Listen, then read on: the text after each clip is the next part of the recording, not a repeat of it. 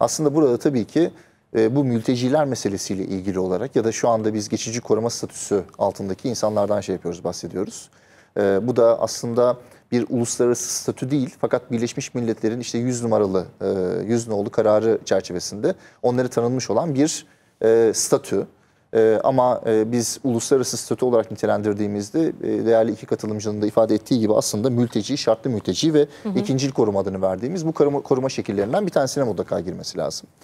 Şimdi burada aslında e, çok fazla şey konuşuldu. Tabii bu mülteciler meselesiyle ilgili olarak işte bu insanların ekonomik anlamda işte bir takım katkılar sundukları, işte Sayın İçişleri Bakanı'nın özellikle Afgan e, henüz yolda olan belki de bir kısmı Türkiye'ye ulaşmış olan Afgan mültecilerle ilgili işte onlar zamanda bilezikleri sattılar, Türkiye İş Bankası'nı kurdular Evet. şeklindeki söylemleri. Yani bu politik söylemleri aslında bir kenara bırakmak lazım ve bütün e, aslında politikacıların, siyasilerin Keşke ya da politik olsa ya. ya da- Keşke politik olsa. ya da yani. bakan düzeyindeki Akıl dışı. bürokratların bu konuyla ilgili açıklama yaparken çok daha sağduyulu bir şekilde davranması lazım. Yani e, niye e, Ziraat Bankası değil de İş Bankası? yani bu, buna benzer şeyler anlatabiliyor muyum? Yani burada özellikle bu insanların e, Zaten ama hukuki... İş Bankası tartışmasını da hatır- hatırlıyorsanız yani onlar Biliyorum, da hazineye biliyorum. devre konuşulmuştu. Biliyorum, biliyorum. Yine aynı bu, bu, bu mevzuyu konuşmuş. Aslında şu anda açılan İşte- bir konu değil. işte- İstiklal Savaşı'nda gönderilen işte o, o dönemde Osmanlı e, içinde gönderilen bir paradır. İşte yüzüklerini sattılar, bileziklerini sattılar. Bu İş Bankası tartışması değil mi? Çok konuştuğumuz bir Çökecekler, çökmeye çalışıyorlar. Gayet iyi Onu- biliyorum. Yani İş Bankası üzerinden ge- gerçekleşen tartışmayı, İş Bankası'na el konulma çabalarını vesaire falan filan. Ama değinmek istediğim başka bir şey var aslında. Yani e, e, burada yani buradaki ana konumuz da mülteciler meselesi. Yani mülteciler meselesi bir taraftan diyorsunuz ki mülteciler çok insani bir mesele. Bu, bu, bu konuyu çok hassas bir şekilde tartışmalıyız. İşte Bolu Belediye Başkanı bu konuyla ilgili açıklama yapıldığında burada gerçekten ayrımcılık ve nefret söylemi var mıdır yok mudur?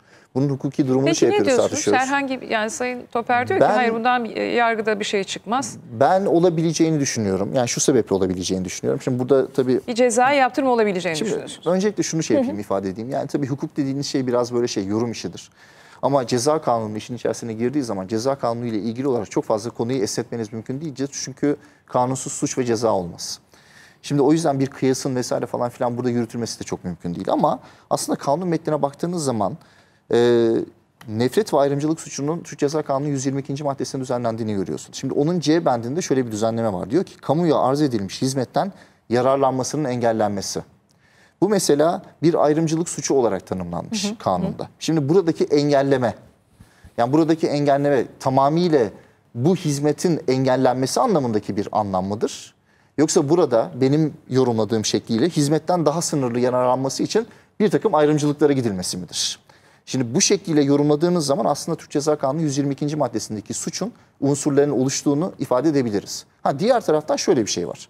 Şimdi bunu Peki değerli meslektaşım da diyor. söyledi. Bunun Şu kısım çok ceza- önemli Peki, Sayın. Hanım. Şu kısım çok önemli. Şimdi burada tabii ki siz birisinin suç işlerken orada öngöreceğiniz şey şudur. Ben nefret ve ayrımcılık suçunu işlemek için bunu yapıyorum. Yani o kastı sizin tespit etmeniz lazım. Şimdi burada o kastı tespit edebiliyor musunuz? Sadece bu söylemden bu kastı tespit edemiyorsunuz. Ama diğer taraftan baktığınız zaman şimdi mesela bu kişinin geçmişte özellikle yine ayrımcılık ve nefret söylemi olarak belki nitelendirilebilecek. Ee, yani bu söylemi gerçekten bu anlamda söylediği anlamı çıkartılabilecek olan başka beyanatları var. Yani sadece son dönemde yani son yapmış olduğu açıklamayla değil daha önce de yine özellikle işte geçici koruma altındaki Suriyelilerle ilgili olarak ayrımcılık veya nefret söylemi olarak nitelendirebileceğimiz bir takım açıklamaları var. Bir süreç var. Onları üst üste koyduğunuz Aha, bir zaman burada kastın olduğunu Bir söyleyebiliriz cümleyle aslında. şunu hatırlatalım. Ee, ben göreve gelmeden önce de söyledim. Bunu vaat ederek zaten Bolu'da seçildim. Ee, göreve geldiğim andan itibaren e, mültecilere, sığınmacılara, Suriyelilere e, verilen belediye yardımlarını kestim. Evet. E, nihayetinde bunun üzerine bir e, İçişleri Bakanlığı'nın soruşturması, e, incelemesi oluyor. Ve tam da e, soruşturmaya yer yoktur denildiği gün Evet. bu çıkışı yapıyor. Evet. Ve diyor ki yani ben hukukçuyum biliyorum sözümün de arkasındayım. Ve nihayetinde ırkçı diyecekler biliyorum, faşist diyecekler biliyorum. Bunların hiçbiriyle alakası yok. İstiyorsanız sözümün arkasındayım, istiyorsanız referandum yapın. Ama eyleme geçen bir şey yok. Henüz beyan aşamasında. Bunun Tabii, için tabii. belediye meclisinden Ben karar karar, çıkması çıkması lazım. lazım. Doğru. O yüzden o karar çıkacak, uygulanacak suç e, yani sübut edecek. Ondan sonra yargı girer. Ama işte bu bir söylemdir. E, Ancak nefret söylemi midir değil Evet. midir Değil bu tartışılabilir. Belediye Yoksa- meclis kararıyla çıktığı için zaten orada kamuya arz edilmiş hizmeti engelleme suçundaki tüm milliyet bağı kesilmiş olacak. Tabii. Bir yasal işlemle yapıldığı için. Meclis de orada belediye bunu kabul meclisinde buna evet oyu veren herkesin aynı maddeden yargılanması tabii. lazım. Bunun ırkçı sahiplerle yapılması yardımı lazım. kesti. Bunun bir soruşturma Ben yer diyor ki bunların olmadı. diyor ırkından, dininden, mezhebinden dolayı değil. Türkiye'deki diyor bu mülteci yükünü taşıyamayacağı sahikiyle bunları söylüyorum diyor. Dolayısıyla burada tekrar altını çiziyorum. Bu e, Sayın Belediye Başkanı tarzı, üslubu bu meseleye e, yangına körükle gitmekten ibaret bir tavır. Kabul edilebilir bir tavır değil ama Türk Ceza Kanunu manasında hem 122 hem de 157'nin koşullarının oluşmadığını düşünüyorum. Yani 157'yi tabii bir kenara bırakıyorum. Yani orada görevi kötüye kullanmaktan kastediyor şey meslektaşımız ama e, 122'nin şartları söylediğim gibi yani hukukçular Şurası arasında anladım. Madde sözüyle yorumladığınızda aslında hukukçular ciddi açısında alınabilir, dava da hukukçular açılabilir. arasında bu konuda şey yapabilir, ayrım olabilir. Yani bu bir soruşturma yapılması için yeterli midir? Doğrusunu söylemek gerekirse bu söylem ve kamu hizmetinden e, engellenmeleri hususu bir soruşturmaya geçirmesi için yeterlidir bence benim kanım. Tabii, tabii, ha, bunun neticesinde e, kasten e, böyle yani burada gerçekten Suriyelileri kamu hizmetinden tam anlamıyla engellemek kastıyla ayrımcılık yasağına aykırı bir şekilde hareket ettiği konusunda eğer bir intiba alınırsa dava bile açılabilir. Benim kanaatim de o şekilde. O farklı bir şey ama Ya- tabii savcılık makamı bununla ilgili Tamam, değerlendirme tam şunu yapacak. söylüyor. Ben geldim diyor. Suriyelilere yardımı kestim. Başladılar incelemeye. Evet. Kastettiğim açıklamalar bunlar Evet. zaten. Evet.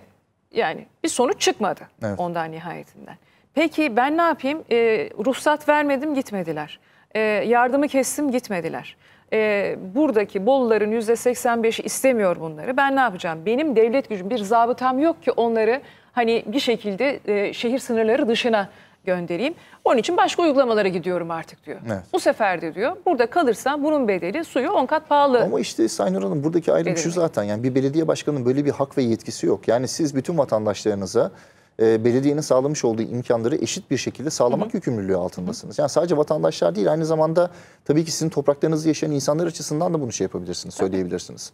Yani bir kişiye siz e, e, işte 1 liraya suyu verirken diğer taraftan sırf Türkiye Cumhuriyeti vatandaşı olmadı diye e, olmadığı için 10 liraya o suyu veriyorsanız 10 katı fiyata veriyorsanız yani bu, bu- bunun insanlık dışı başka bir şey de var yani anlamı var. belki o insanlar Ben- 3 kuruş payla geçinmek için orada Yani uğraşıyor, tabii yani, çırpınıyor yani. bö- Böyle O bir da şey de diyor var ki yani. ben başka yol kalmadı bana böyle caydıracağım.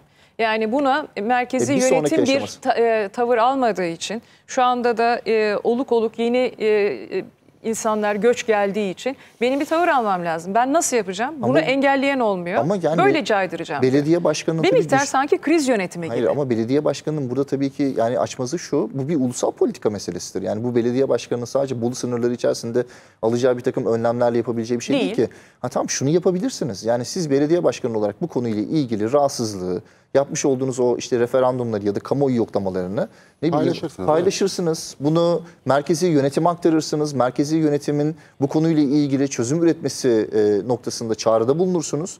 Ama siz şu andaki mahalli idareler rejimi içerisinde işte ben bu insanlara olan işte e, suyu çok daha pahalıya vereceğim diyemezsiniz. Yani Gitsinler böyle- diyor. Yeter. Ya, bu niye yapıyoruz? Şimdi- Çünkü gitsinler istiyoruz. yani bu tabii görevin kötüye kullanılması olarak belki nitelendirilemez ama e, ama diğer taraftan söylediğim gibi ben Türk Ceza Kanunu 122. maddesinin burada işletilebileceği kanaatindeyim.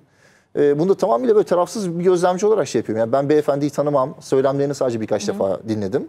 E, ama durduğum nokta itibariyle bir objektif bir bakış açısıyla baktığım zaman bu söylemler birincisi doğru değil, ikincisi etik değil, üçüncüsü insanlık dışı.